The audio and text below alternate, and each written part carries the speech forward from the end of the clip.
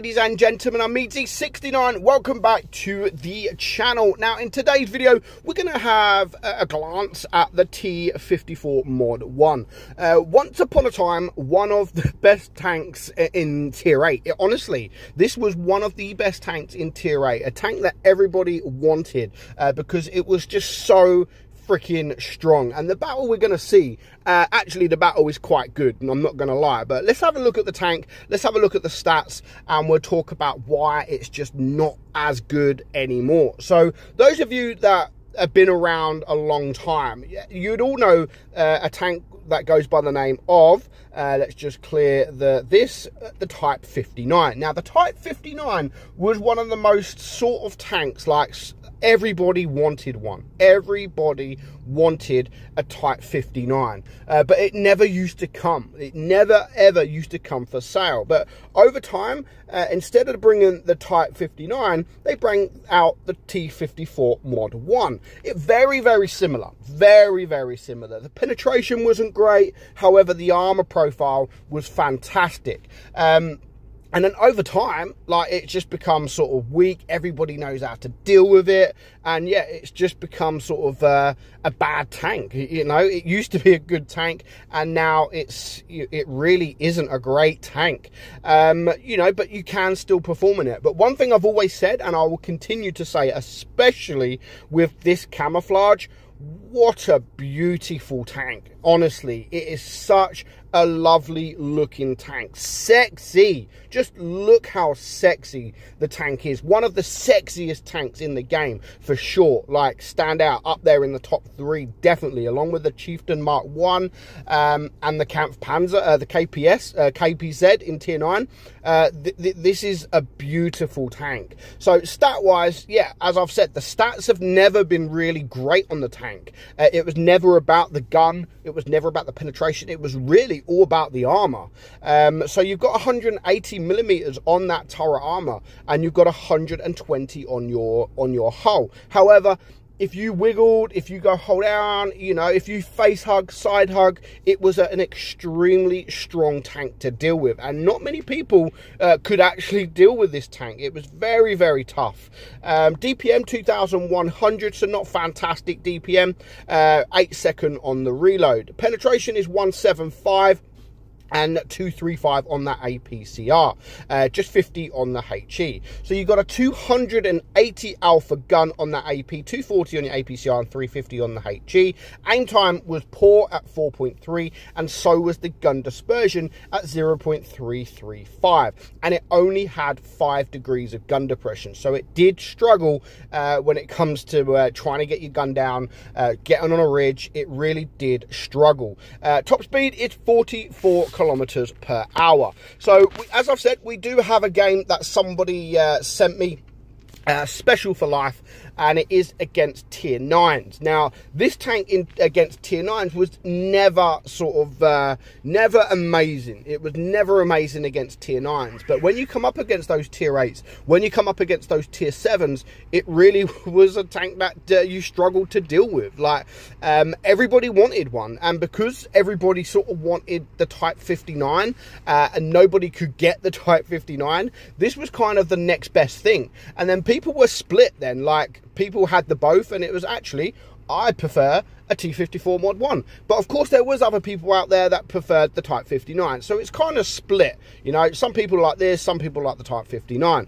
I preferred this tank because it just for me it just had that overall armor profile it didn't just have a, a strong turret it had the the hull as well um, i preferred this tank and of course the type 59 was a tank that i really really wanted and it was a tank that i never actually got from the shop it was um, my good friend my good old friend if those of you, of you that remember him uh, skate extreme very good personal friend of mine uh, not just in the game but out of out of the game as well you know i've got his phone number we, we chat quite often, not so much now.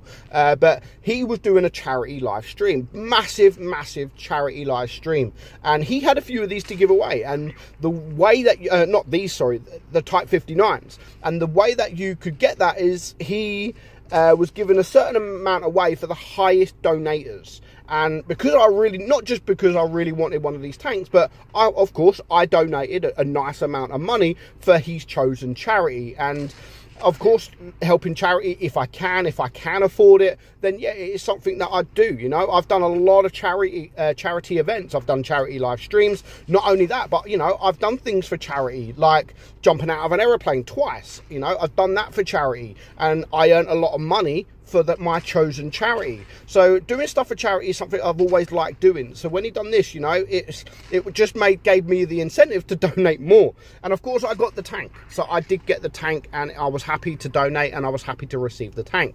Uh, but then of course this come around uh, and I didn't even want to play the Type 59 no more, you know. I paid all that money for a Type 59 and I don't even want to play it because I've got now the T54 Mod 1.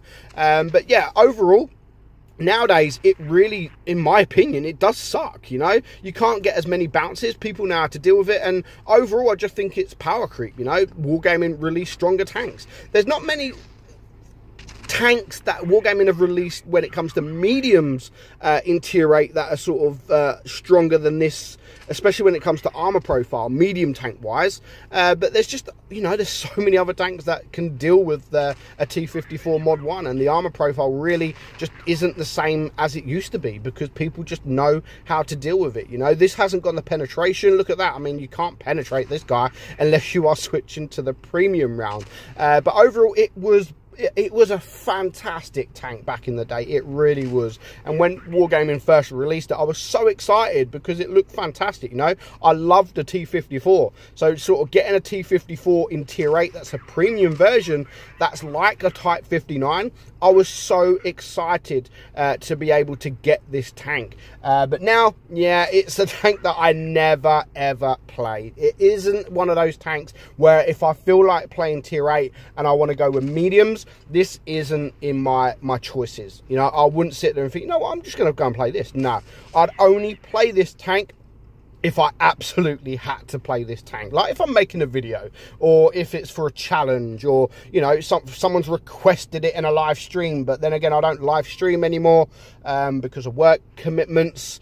Uh, so yeah, you know, that's the only time I would ever play this tank. So let me know your thoughts. Like, is it the tank that you sort of really like? It's been a, it's been around for a very long time now. Uh, is it a tank that you like, or is it a tank that you did like that you just sort of nowadays? Yeah, this tank, uh, this tank pretty it sucks. It, it sucks pretty much. Um, but yeah, let me know in the comments below. But for now, we're going to watch the rest of the replay. Our guy has managed to do 3.6k damage, uh, and again, 3.6k damage in a mod 1 the, in this day and age is actually a really really good job. But you know there's still a little bit of work to do. There's still a couple of tanks and one of them being the t95 who is in the middle of the river uh, and yeah, it's not a great place for a T95 to be. Uh, and of course, if he does turn, we are able to penetrate him with AP. And that is the thing that I really sort of don't like now either. Like AP hardly pens anything. Like you'll you'll be lucky if you're uh, if you're able to pen anything. I mean, heavies like this, yeah,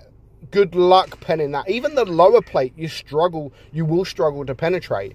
Uh, but he's done the right thing here he's dragged that object up the hill and then he's run away. And again, that's something that has been that is decent about the tank, not special. Uh, the mobility of the thing, you know, it's not like a crazy, crazy fast tank. It's never been a crazy, crazy fast tank, but neither is like the T54 or the Type 59. They've never been like a super fast tank. They're a medium. They're like a heavy medium you know, decent armor, uh, decent turret armor, decent hull armor.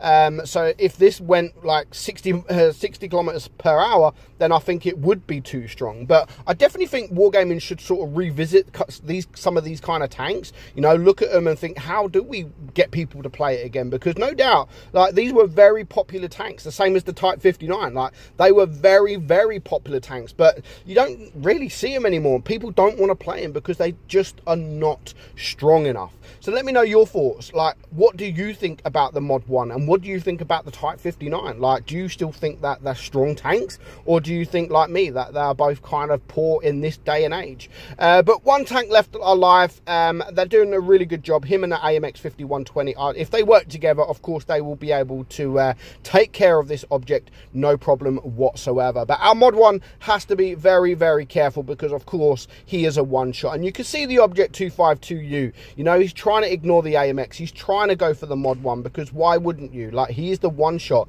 Take care of him, and then you don't know anything that could uh, that could happen. So uh, they're going to work together now. Just 25 seconds left uh, on the clock he actually risked crossing here. Like I don't know why he dropped down right there, and he gets away with that literally just. Uh, and at this point, 15 seconds left alive, uh, or 15 seconds left on the clock, 10 seconds, and it is now game over. So well played. But you know, just over 5,000 damage. 5,000 damage in this tank in this day and age is a really, really good job. So I hope you enjoyed today's video, guys. I'm Meadsy69, and I will catch you all soon. Bye bye.